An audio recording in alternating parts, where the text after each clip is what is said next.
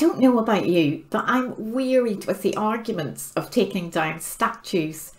Not to say that it's not a topic worth discussing, but just that I wish people were a bit more reasoned in their arguments. Shall I give you mine?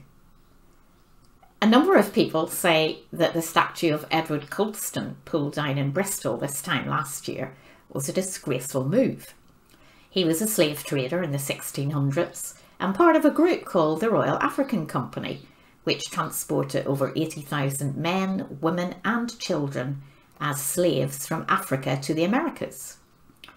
He became extremely rich and he died in 1721, but he left a lot of money to charities and good causes.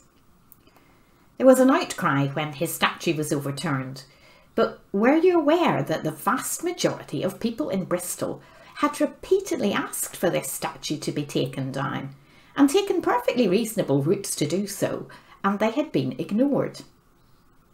His statue is now in the local museum, a fitting place, I would say, where he is remembered in the context of what he did.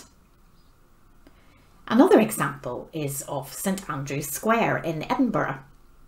Henry Dundas was a politician who in 1792 argued against the immediate abolition of the slave trade, ensuring that the word gradual was added to William Wilberforce's motion. He stands on a plinth in the square, but across the road from it is Dundas House, home of his relative Lawrence Dundas, and the statue in front of it, the Earl of Hopetoun, also a relative, helped end the slave trade in Grenada.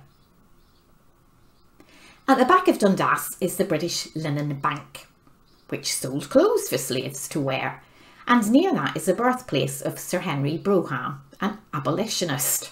Complicated, isn't it? Where do we draw the line? Some might see Oliver Cromwell, for example, as a key figure in bringing democracy to the UK parliaments. Others might say he was responsible for the deaths of large numbers of the Irish in the 1600s. Yes, we know slavery is abhorrent, but you may not realise that slavery is at a higher level than it was in the 1600s, with 21st century child labourers, exploitation of the poor and immigrants. Perhaps you might be better looking at where the products you buy come from. Are your nice cheap shirts perhaps made in a factory overseas exploiting child labour? I guess my conclusion is that slavery and the damage it caused to generations and generations afterwards was wrong and heartbreaking. It did happen, but rather than wiping it out of our history, wouldn't it perhaps be better to acknowledge it happened, learn from it, and protest in the here and now for social equality, racial equality, and justice? Statues could have new plaques added to explain the controversy, perhaps. I don't have the answer. I do acknowledge that historical statues probably should reflect the values of the society that erects them, and that doesn't necessarily mean they should stay forever.